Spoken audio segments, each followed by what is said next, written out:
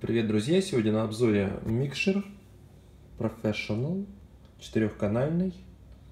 Ну, логично китайский, но довольно прикольный. Имеет MP3 а, плеер. Так, вот он у нас перемоточкой с паузой.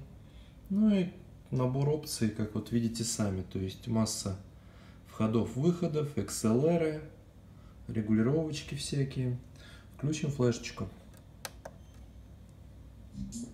Подключена на активную колонку ТМШ.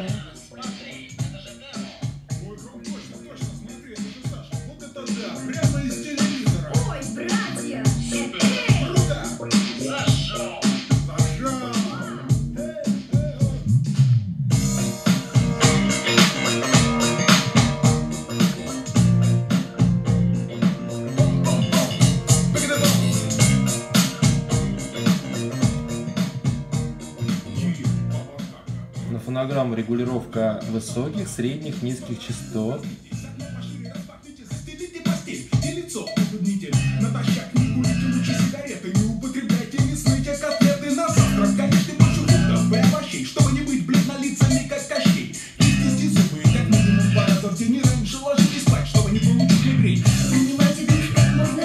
Чаще совершайте пробежки по